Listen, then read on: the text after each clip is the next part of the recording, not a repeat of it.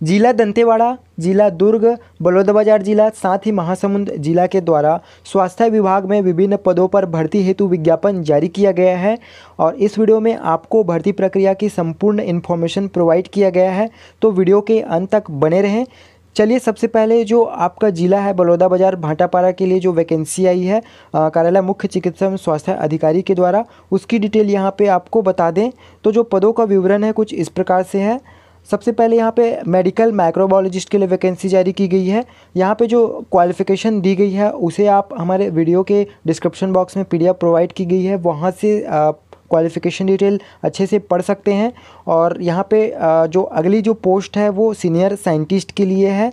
साथ ही जो आगे की पोस्ट है वो साइंटिस्ट के लिए है और साथ ही लैब टेक्नीशियन का यहाँ पे टोटल नौ पदों पर भर्ती प्रक्रिया की जा रही है, ठीक है? और अगला जो पोस्ट है वो लैब अटेंडेंट के लिए है, जिसमें टोटल दो पदों पर भर्ती की जा रही है और अगला जो पोस्ट है वो डेटा एंट्री ऑपरेटर के लिए है। डेटा एंट्री ऑपरेटर के दो पदों के लिए ज़िला बलौदा बाज़ार में भर्ती की जा रही है। यहाँ पे डेटा एंट्री ऑपरेटर के लिए आपको क्वालिफिकेशन ट्वेल्थ मांगी गई है। साथ ही one year diploma in computer application okay और यहाँ पे at least one year experience in M S office work मांगी गई है। एक्सपीरियंस को यहाँ पे नेसेसरी नहीं किया गया है। यदि एक्सपीरियंस ना हो तो भी आप अप्लाई ज़रूर करें, ठीक है? अगली जो पोस्ट है वो स्वीपर या क्लीनर की है। जिसमें टोटल दो पदों पर भर्ती प्रक्रिया की जाएगी। स्वीपर के यहाँ पे फिफ्थ क्लास पास आउट मांगी गई है। ठीक है? यहाँ पे दोस्तों, नीचे जो है वो विज्ञापन के लिए नियम एवं शर्तें दी गई है, जिसे आप पीडीएफ से एक बार ज़रूर पढ़ लें। और यह जो भर्ती प्रक्रिया है, यदि इसमें आप अप्लाई करना चाहते हैं तो यहाँ पे वॉक इन इंटरव्यू है इन पदों के लिए। वॉक इन इंटरव्यू की डेट कुछ इस प्रकार से है। वॉक इन इंटरव्यू की डेट है आपका 11 मई 2021 को। जो टाइमिंग होगी वो सुबह 10 बजे से लेके 12 बजे तक की होगी और इस जो वॉक इन इंटरव्यू होगी, उसमें आपको अप्लाई करने के लिए एक फॉर्म फिल करना होगा। फॉर्म का लिंक हमने वीडियो डिस्क्रिप्शन में दिया हुआ है, वहाँ से डाउनलोड कर प्रिंट करवा के आप उसको फिल करके दिए हुए वॉक इन इंटरव्यू डेट में जा सकते हैं यदि आप अप्लाई करना चाहते हैं तो।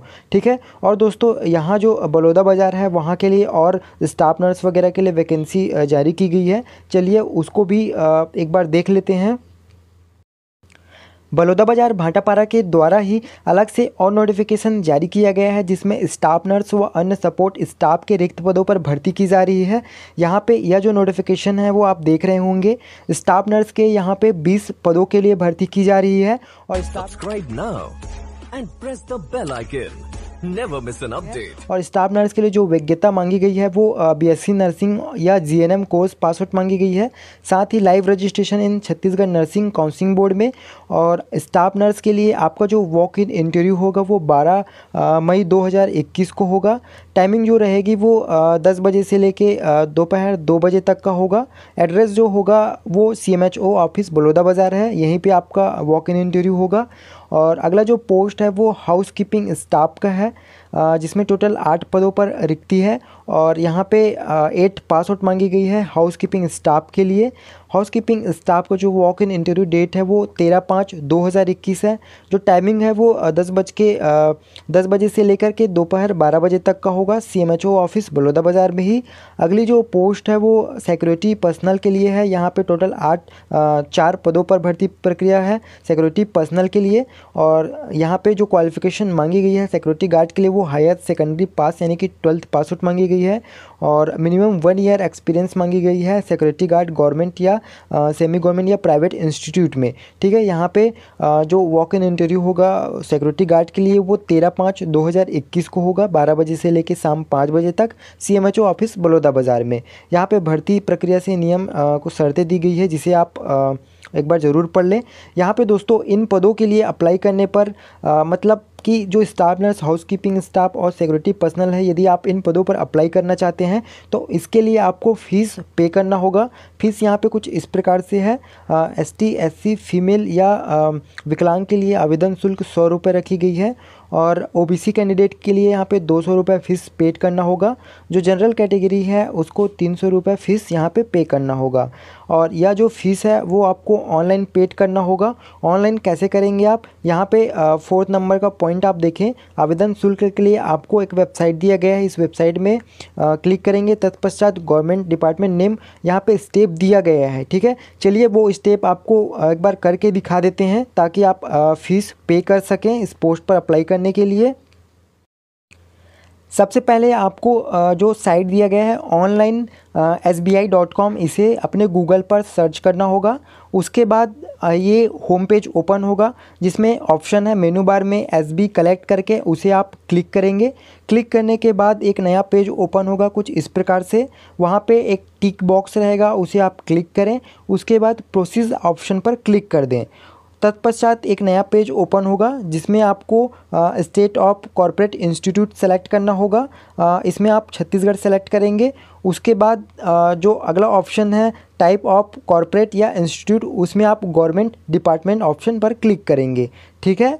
उसके बाद यहाँ पे गवर्नमेंट डिपार्टमेंट को आप सेलेक्ट करेंगे तो एक नया ऑप्शन खुलेगा जिसमें आपको chief medical and health officer Baroda Bazar इसे आपको क्लिक करना होगा। ठीक है? उसके बाद यहाँ पे नया ऑप्शन ओपन होगा सेलेक्ट पेमेंट कैटेगरी का। तो यहाँ पे आप recruitment for NHM department option select करेंगे।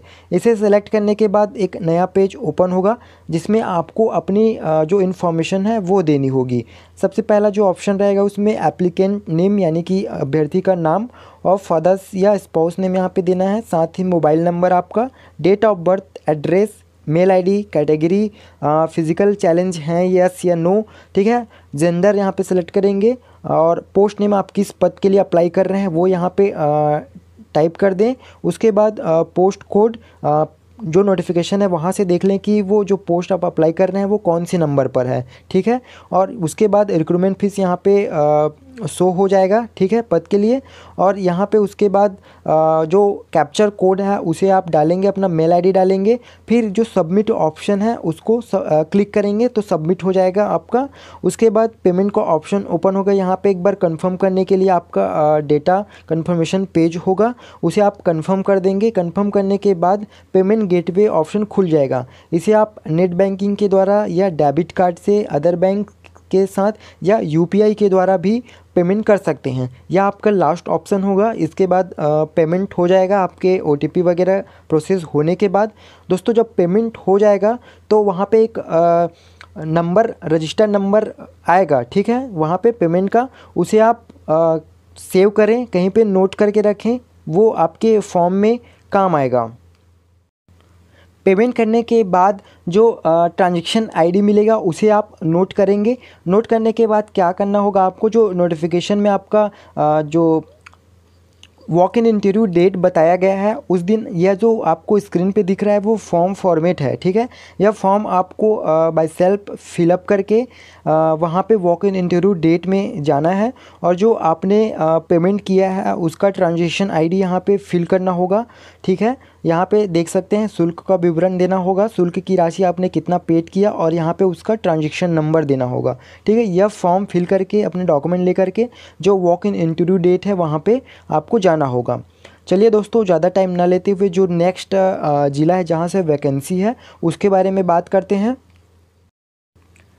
यह जो भर्ती विज्ञापन है, वो कार्यालय सिविल सर्जन सह मुख्यालय अस्पताल अधीक्षक, जिला चिकित्सालय दंतेवाड़ा के लिए है।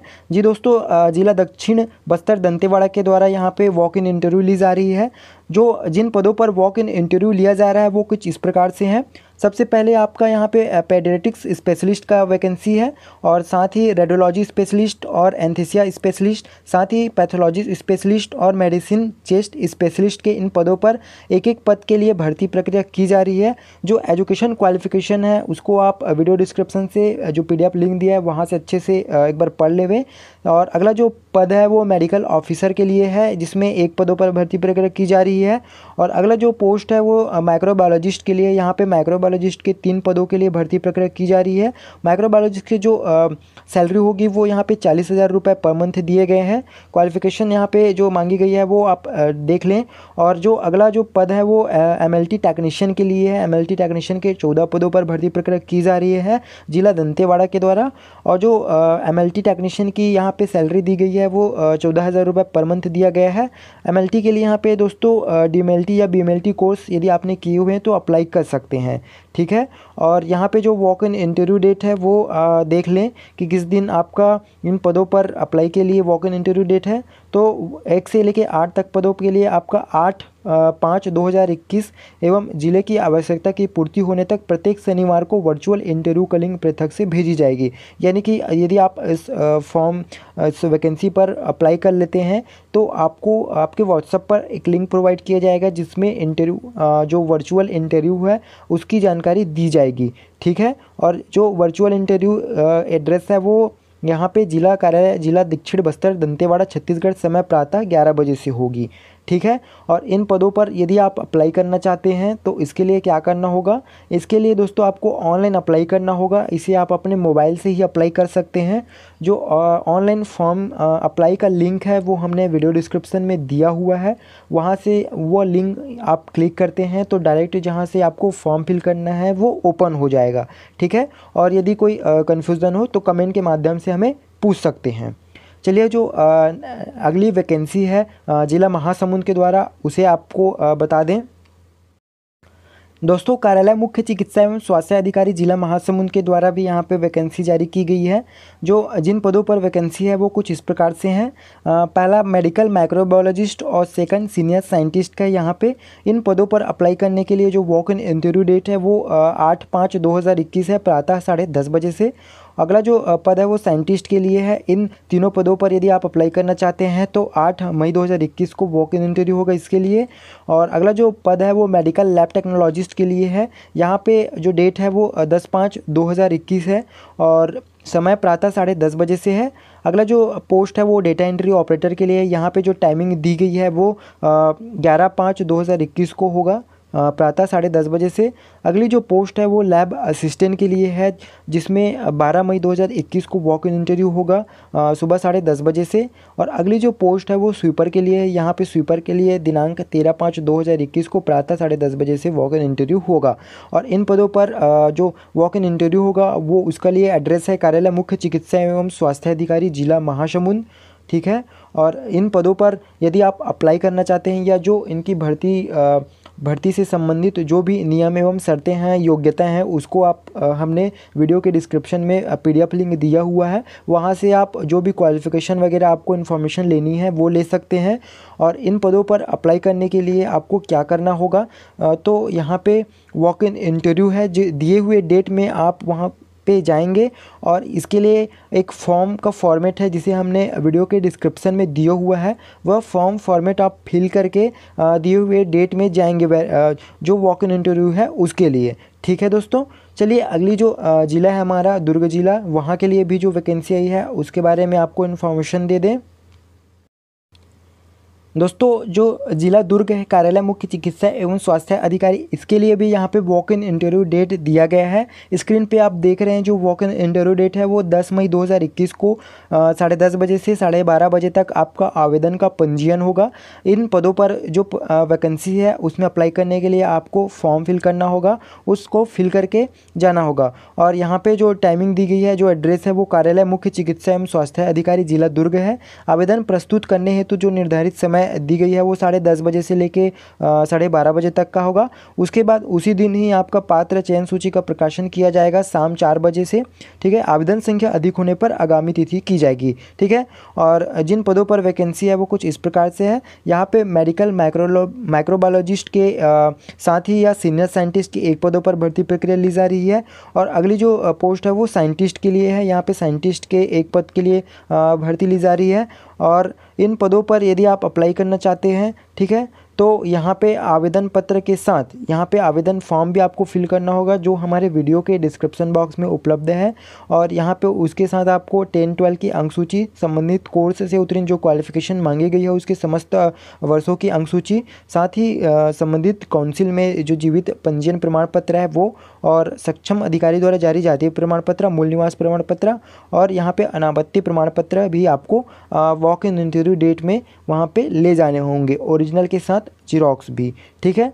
तो उम्मीद करते हैं कि आपको दिया हुआ इन्फॉर्मेशन अच्छे से समझ आया होगा। वीडियो अच्छी लगी होगी तो वीडियो लाइक ज़रूर करें। और दोस्तों, यदि आप हमारे चैनल में नए हैं, पहली बार आए हैं तो इस तरह के इन्फॉर्मेशन के लिए आप हमारा चैनल सब्सक्राइब ज़रूर करें। हम इस तरह के ऑथेंटिक जो इन्फॉर्मेशन है, वो प्रोवाइड करते हैं और डेट ना निकल जाए, आपको इन्फॉर्मेशन लेट से मिले। इससे अच्छा है कि आप चैनल सब्सक्राइब ज़रूर करें ताकि हर एक अपडेट से आप अवगत रहें।